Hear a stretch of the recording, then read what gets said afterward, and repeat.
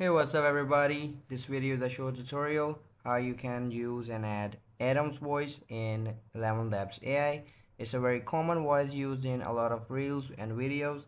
So let me just show you guys. In case you guys haven't created a Eleven Labs account I will provide a link in description. Just go and sign up from there. And once you have done that go and select voices here.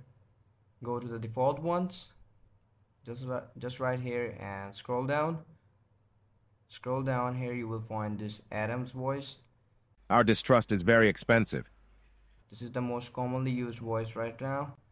You can go and check its details here, American, deep, some details you want to know before using this voice. To use this voice, we will just go and click on use. You can also go to library and search Adam voice here. You will see different kind of voices according to your need. Different options given to you guys here now to use uh, Adam's voice we will just go here and click on use.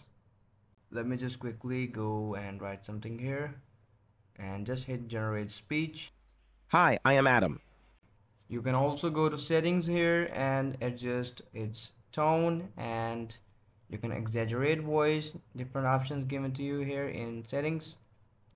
You can also download this voice by clicking on this icon in the bottom right click on it and it will instantly download.